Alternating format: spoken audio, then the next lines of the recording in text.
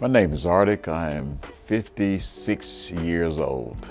I went to prison in 2000. I was there 21 years and six months. I was like the first person to ever be an actual chaplain that was a prisoner, and I went to Grant Parish Detention Center.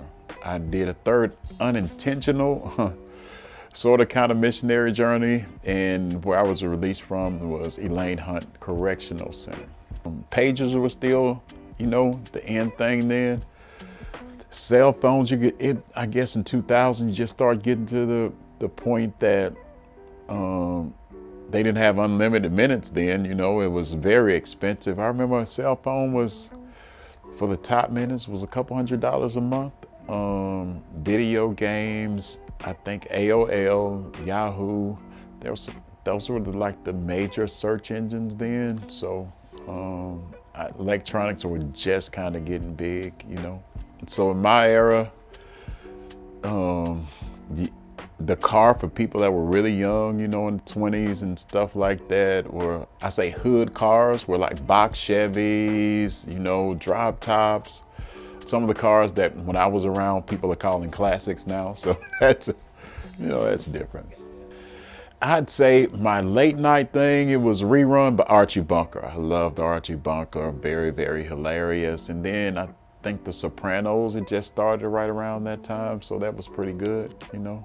One of the things that was that was different because this is right after COVID, so everything's impersonal, you know. Um, I guess this has been the biggest thing about living life because everything that I did, you don't have to go to a lot of places in person if you don't want to, is you can do everything from the phone.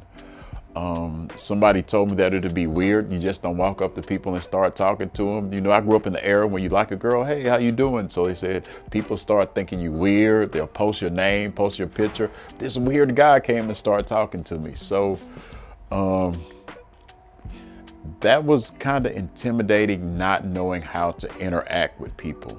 I talked to a lot of people that's been formerly incarcerated, people that have been out a long time and people that have been out a short time. And the, the one thing is, is that no matter what trial or what's going on in your life, you always say, man, this is bad, but at least I ain't in prison, you know? So there is nothing out here kind of dealing with life and on its terms and that's one of the things is being able to adjust and to adapt to to every situation that you encounter. My ideas and how i see things is has not is not fully in 2020 2022 how i see things many times is still in the 2000 and in the 90s so what has happened is is that I've had to kind of grow. I've been like like I said with my nephew, I'm really like a little child and I've accepted that like I there's a lot of things I don't know about this new world that I live in.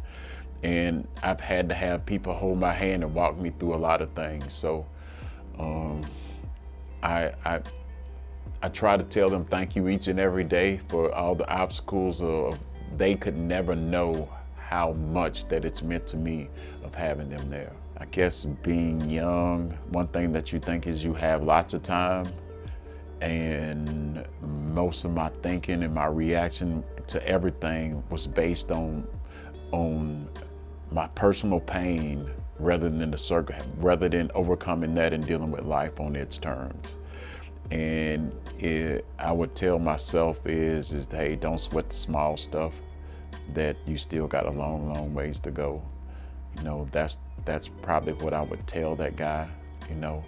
And this and another thing that I tell him is is that you have to listen to even the people that you don't think mean you any good, that you can get some good out of some of the things that they're that they're telling you. Is to listen more.